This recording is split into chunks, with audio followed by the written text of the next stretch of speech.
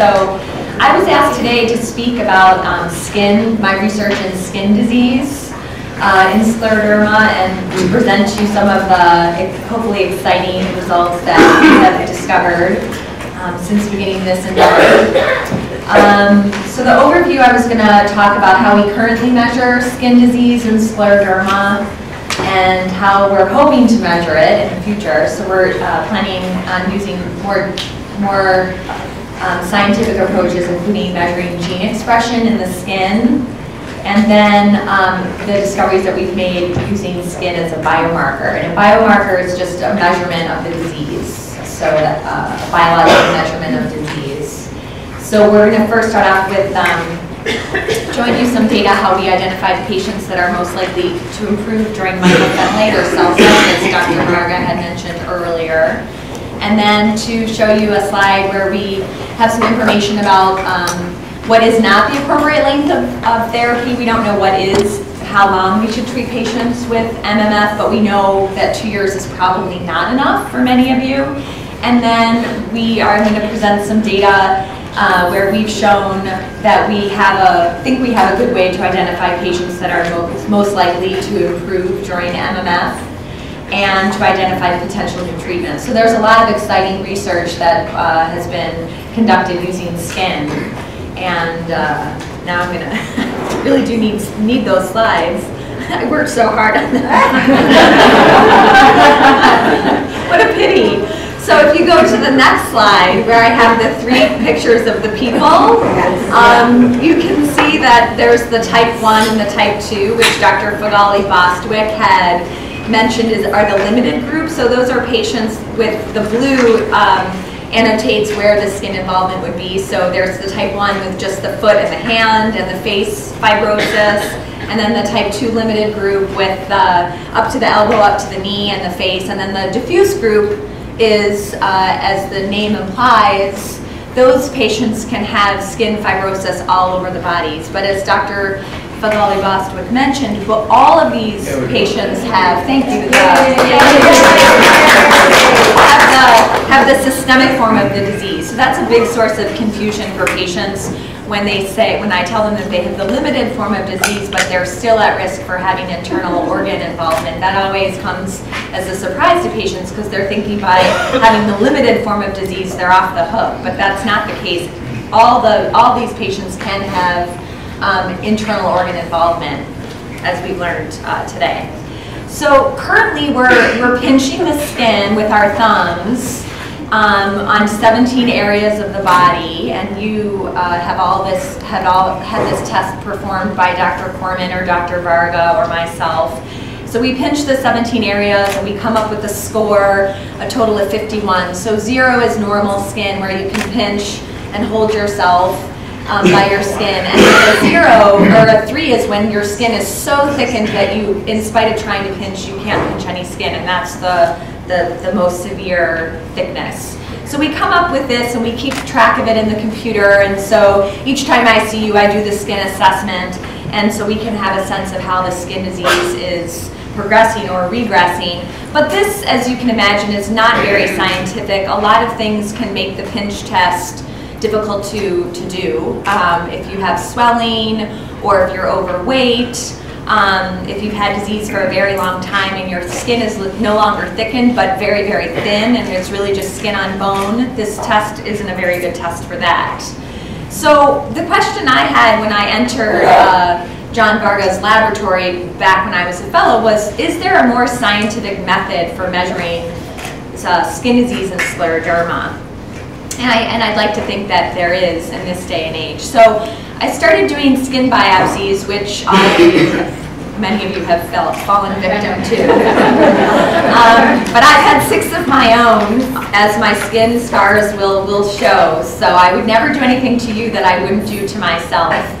And so we do the, the skin biopsies on the arm and the back, and you can see how the instrument here um, go, this is the instrument that I use, and so it pokes down into the skin, and it removes a, a, small circle of skin about the size of a pencil eraser, and we use that to isolate the RNA from the whole biopsy. That's how we started doing it. We would take the whole biopsy and grind it up and get the RNA from it, Now, most recently, um, we're starting to isolate RNA from the actual cells in the skin. So we're taking the biopsy and sorting the cells, the different cell types out, and then doing uh, experiments on those. So that's the, the newest development, and, and that's one that I'm excited about, but is the topic for a different discussion for a different day.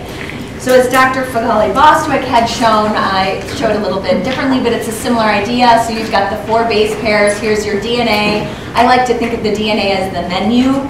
All the different proteins in your body that your body can produce is the menu. And then the RNA is what your body orders. So the proteins that it needs um, in order to keep you healthy. Um, that's the RNA, that's the gene expression. And then the proteins are what the body delivers. So those are the meal. That's actually what's brought to your table. So that's, that's a way that I think of it. it helps me keep it straight. So what we do with the skin, we obtain your skin biopsies and we grind up all the tissue and we isolate the RNA. And then we take RNA from a sample, from a control sample, and that's pooled RNA from 17 different cell lines and we label those with different colored uh, tags. We mix them together, and then we hybridize them, or we paint them, smear them over a slide, and we let that cook for 24 hours. And then we take a picture of it, and it basically the different color dyes light up in terms of, so each one of these little boxes, each one of these little circles is a gene that we're measuring. And so we can come up with a spreadsheet, an Excel spreadsheet, of all the genes and what your level of that particular gene is, the expression of that gene in your skin. So it becomes a nice spreadsheet of 30,000 genes and uh, all the values for that are, that are in your particular skin compared to a healthy person's control.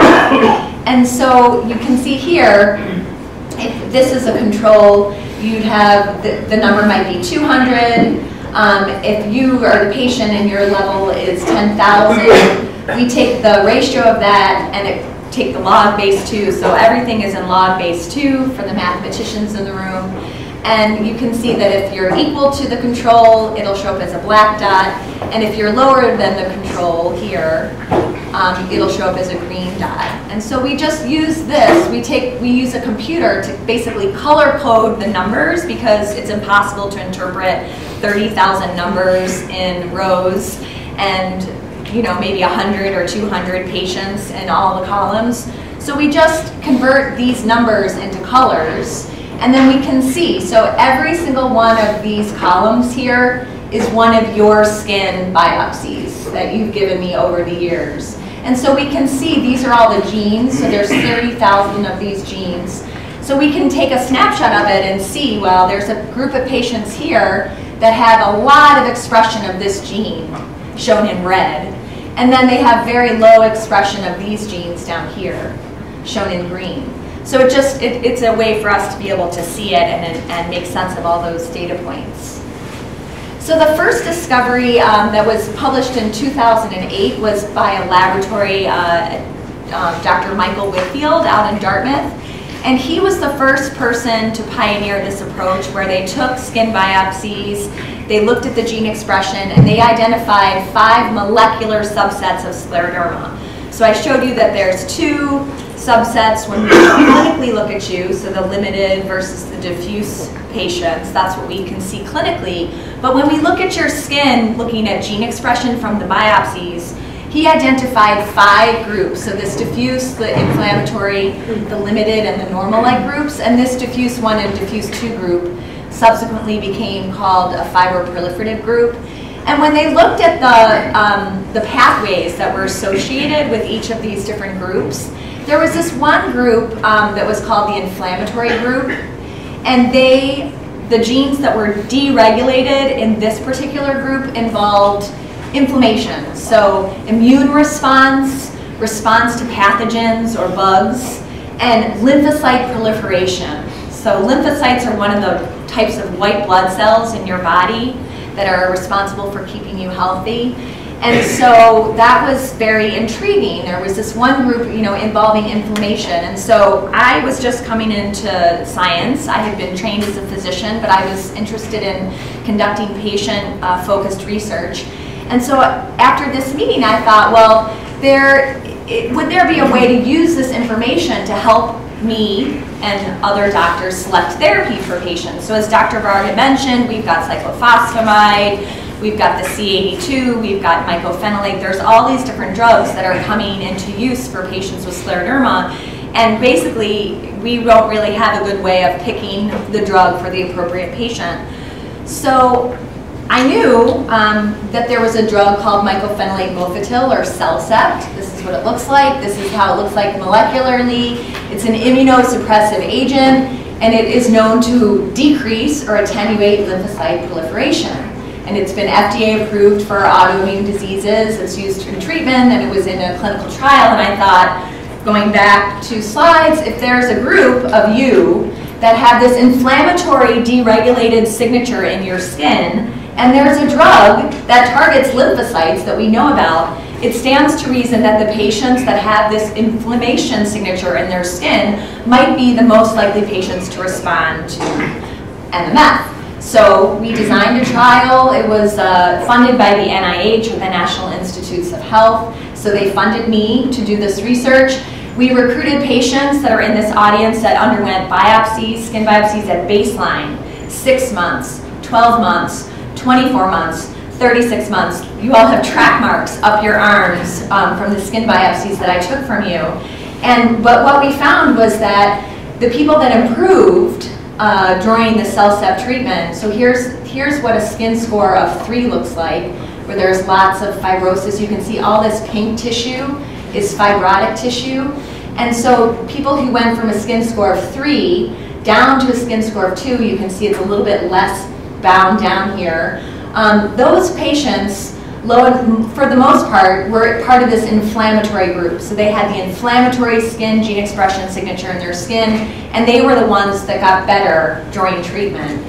Versus the non-improvers, the people who got worse, and you can see here's a person who started out with a skin score of two, and during treatment their skin score actually increased to a skin score of three, they were more likely to be in this fibroproliferative group. There were also some healthy patients in this normal-like group who responded. So the responders are the improvers are blue. So anybody who was blue, you can see there were some blue people in the normal-like group.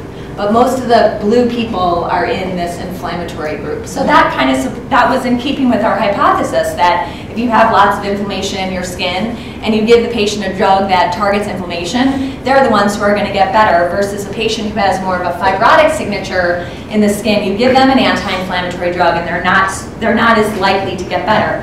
Now this is plagued by the sense that we didn't have any control people. So the people that got better could have gotten better just from the from their own improvement.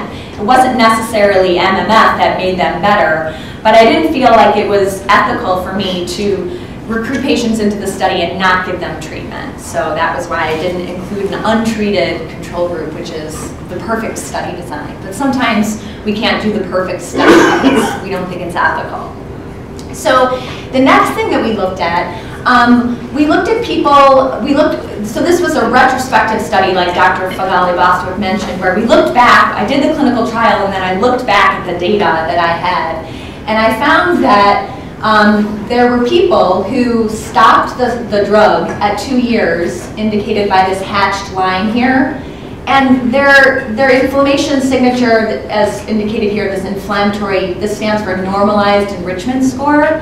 So this normalized enrichment score rebounded in some of the patients after we stopped MMF at two years. Versus there were some patients who we spoke in clinic and you know they said, I'm really doing well, I don't want to come off my MMF, it's working, why would we stop it? And so we decided to continue it. And they had this increased reduction in their normalized enrichment score over time.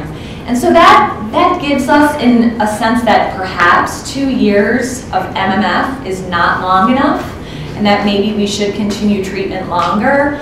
And that's basically a discussion that I have with every patient in MMF at every visit. You know, if they're doing well and they're not having any side effects, and they still feel like the drug is benefiting them, sometimes we decide to continue it. And some patients, you know, they're of the opinion, I don't want to be on these immune suppressive agents, I want to come off it as soon as possible. So it's, it's, a, it's a decision that you make one-on-one -on -one with your doctor. But this is just to show you that there are data And there's interesting data that can be obtained from looking at the study after the study is completed. So this is, uh, we're trying to get this published. Um, it's in revision right now. So the next question we had was, how can we enable doctors and patients to make informed treatment decisions?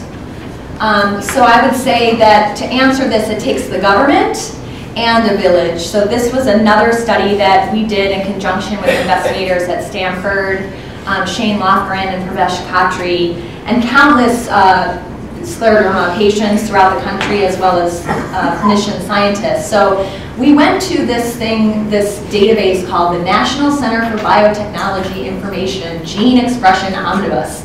So that's what this stands for. And these are publicly available gene expression data. So these are data that you know will be generated and all the scientists in America are required to put their data into these public databases so that other scientists can use the data to make discoveries. So using um, four data sets that were published and in this, in this database that's funded by the government, um, we divided it into two groups. So we used two groups as the discovery data set and then two groups as, the, uh, as part of the validation. And then we recruited another three scientists in the United States to give us their sample data from their samples so that we could validate what it is that we were finding. So every good discovery is interesting, but it has to be validated before we take it to patients. We don't want to, you know, take patients, take data to patient care until it's been validated. So we took all the the data in these two uh, publicly available data sets. So that was 158 patients' skin samples. And we identified a 415 gene signature that was associated with skin disease. And then we validated that using five independent data sets. So that's your government dollars at work. And what we found in the discovery cohorts, so you can see these two cohorts from um, University of California, San Francisco, and Boston, this was the data that we used for the discovery. So this is what all the skin gene expression looked like here. And then we validated it in these other five cohorts. So you can see it validated pretty well. This looks pretty reminiscent of this. And again, this is this 415 gene, skin gene signature that's associated with scleroderma skin disease. So, and there were two, there were 120 overexpressed and 66 underexpressed that validated out of the 415. So we took 415 and out of those 286 were legit statistically speaking. So next we, we wanted to see, okay, well what can we do with this information? We have these 415 genes, about 300 of which validated. What can it tell us about uh, informing our medical decision making? And what we found is when you look at this, when you do this principal component analysis, it's called, it's a way of looking at high dimensional data. So it's a way of like that heat map where, you know, the red and the green I showed you earlier on in the talk. Remember the big rectangle? So that's a way of viewing lots of data. This is another way of viewing lots of data in a way that you can make sense of it, your eye can make sense of it. So here's the normal or healthy control people like myself and Mary and all, all the people that work in scleroderma. So we're all the black dots here. And you can see all these patients here, you're all the red dots. And the size of your sphere is related to the, the, uh, the height of your skin score, and how high your skin score is. So the bigger the circle, the higher the skin score for that individual patient. And what we noticed is that there seemed to be like this distance to health. So the higher your skin score is, the further you are away from the black dots from the patient, from the health control individuals. And so that was interesting. Um, so we decided to take all the black dots, turn them into, we colored them green here, and so we have this healthy sphere, we call it the green like orb of health. And so we measure um, the distance from you that you are to this healthy sphere. And so you can see this is patient six, so this may be one of you in the audience. And their baseline skin score was 16, as indicated here in parentheses.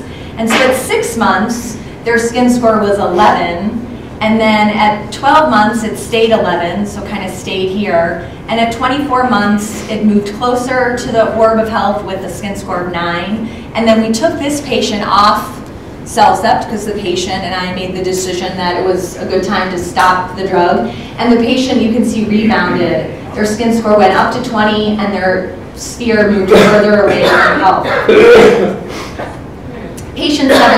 Patient 17, this is just another example. You can see the baseline skin score of 35, the six-month skin score of 35, so they essentially stayed the same.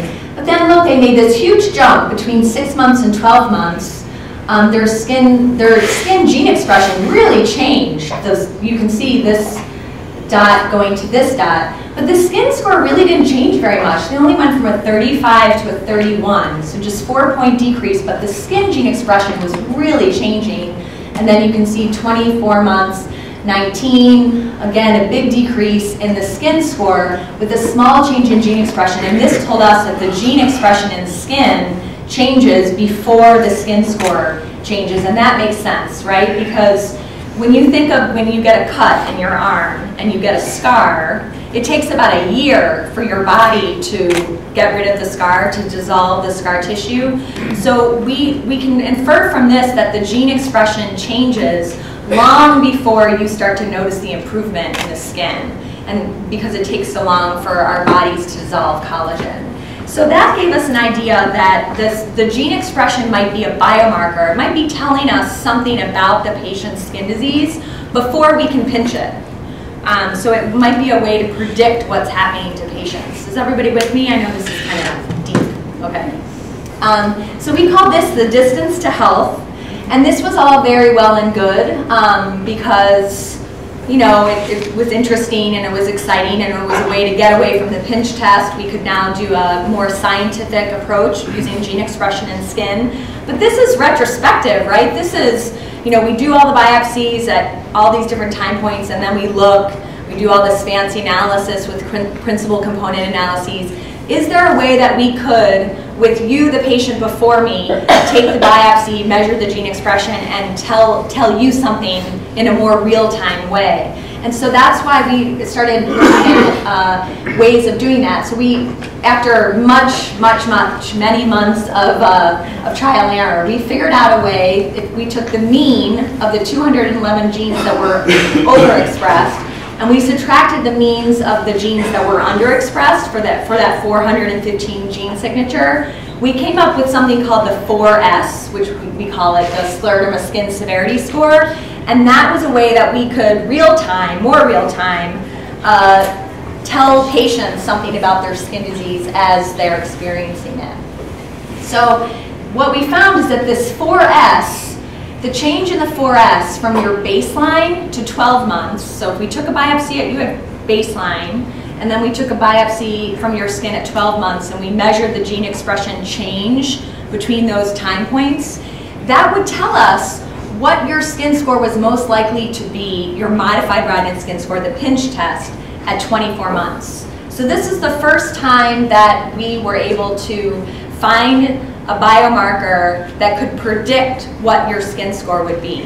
Before that, it was always like, eh, your guess is as good as mine. I mean, the antibodies helped us. We knew that patients with RNA polymerase 3 positivity, for instance, had much greater risk of, of having bad skin disease, but it was always kind of nebulous. We never knew that for sure. That's just, in generally speaking, patients with the RNA pol 3 have worse skin disease. So this is the first kind of scientific um, study that we were able to conduct that showed that measuring the change in gene expression could predict what your skin would be at 24 months. So we were excited by this, and this was published in a journal in, uh, last year in 2016. So the next question we said, does the 415 gene skin signature suggest a cause for SSC skin disease and maybe could lead us to new treatments? So Dr. Feghali Bostwick um, eloquently uh, spoke this morning about the, you know, the genetic background, the epigenetic background of scleroderma, the environmental causes. Um, what, what about on the molecular basis? Could we use skin gene expression to determine what are the pathways that are go awry in our bodies? So that was our next question. Again, we turned to a publicly funded uh, NIH government-sponsored um, database called LINCS. And this is a really cool database if, for, if you're bored on a Saturday night and you want to get on your computer And you can look at 17 different cells. So they use all these different cell lines. Most of them are cancer cell lines that they've gotten from patients. And these people, these scientists, they take a cell line, they grow it, and then they add in a growth factor or some kind of uh, way to stimulate the cell, and then they measure the gene expression. And they just keep doing that with growth factor after growth factor after growth factor after growth factor. Um, and they put all of these data up onto this database so that investigators can say, okay, I have this 415 gene signature from my scleroderma folks. What, what cells that have been stimulated by which different molecules look like our signature, look like you, look like your skin. So we did that, we can do that. And we found that um, here were the here were the ligands, here were the um, molecules that were that they that these investigators used to stimulate their cell lines. And we found this is the correlation with our 415 gene signature. So we found these EGF-like growth factor, histidine-rich glycoprotein, epiregulin, minor extracellular protease, beta-cellulin, epidermal growth factor. So we, we, we dug into these. We didn't even know what some of these were, but we, we identified them and we looked into them. And what they all had in common was that they were related to epidermal growth factor. That's all of these different uh, genes are all involved in the epidermal growth factor pathway. So that was really intriguing because we haven't really been thinking about that pathway in scleroderma very much. And so uh, is epidermal growth factor important in scleroderma? That was our next question. And so to that, I went to the freezer and I took out all of your sera that you've been giving me. So every time you go get a blood test, and Mary or Kathleen come, can we get some blood? Can we take a tube of your blood? So we took that all that, we went to the freezer, we took out all the bloods that we'd had collected, and we measured epidermal growth factor receptors. So we measured the receptor in the sera that, that you have given us, and we found that the levels for you all, in 100 of you, was less, statistically significantly less, than the levels that we had measured in healthy controls. So, so you all have lower epidermal growth factor receptors in your sera compared to people that don't have scleroderma. We did, we partnered up with a private company called Olink to do these analyses. So that was interesting. And then we looked at, well, what's the relationship between epidermal growth factor receptor levels and your skin score? So we looked at that. So we went to the computer where all the skin scores had been charted, and we compared the skin score to the uh, EGFR receptor, and we saw that there was an inverse correlation. So the higher your skin score, the lower your epidermal growth factor receptor level. So that's intriguing. It might mean something. So then we went to literature and we're like, well, who else has been looking at this? We're probably not the only ones who stumbled upon this. And there's, there's other reports in literature, but this is a recent publication just from 2014, and this is a Canadian group. They have their Canadian scleroderma research group up in Canada, and they have published this interesting study that uh, systemic sclerosis immunoglobulins, so these autoantibodies that you have in your blood, induces growth and a profibrotic state in vascular smooth muscle cells. So those are those cells inside the blood vessel wall that Dr. Cajigas was mentioning and they signal through epidermal growth factor receptor. So that's really exciting um, because that's an, an, a novel pathway that we hadn't thought about. Um, and so currently we are taking animal models of scleroderma and we're giving them drugs that target the epidermal growth factor receptor and that pathway. There's a lot of them that are available. Um, they're used in cancer therapies. So this would be something like Dr. Varga spoke about earlier, the repurposing of an FDA-approved drug. So it's been developed, it's cost billions of dollars for the cancer people to invent the drug and test it. Now we're going to steal it and use it for scleroderma patients and repurpose it, and we won't have to spend those billions of dollars. We'll just have to do a smaller study and perhaps test it in patients.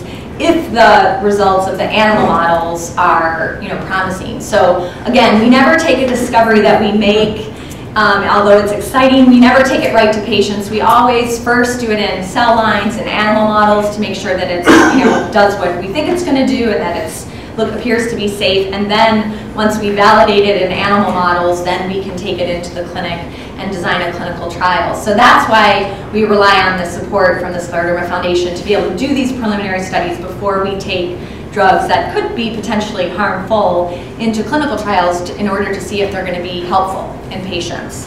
So that is the, uh, the end. Um, the summary is that measuring gene expression in skin does appear to be a biomarker. It's at least a promising uh, avenue for research. We have this 415 gene signature that we identified in skin scleroderma patients that again we're still validating and testing, but it looks promising. We have this scleroderma uh, skin severity score, the 4S, that appears to be predictive of future change in your skin disease. We've identified an EGF or EGFR pathway that is a new potential area that we could target. And we're doing experiments uh, right now as we speak. The mice, you know, are being treated with uh, these drugs, um, and we're going to see if it helps with the mouse skin and the mouse lung. And then we'll, we'll let you know about that next year. So uh, thank you to all the people who are involved in this research. It certainly is not the work of myself. Um, you all know uh, the doctors who collect the skin biopsies, who take care of you in clinic, Dr. Korman, Dr. Varga. Um, there's talented people in the laboratory. There's uh, the clinical coordinators that hound you all to get all of the specimens from you and consent you.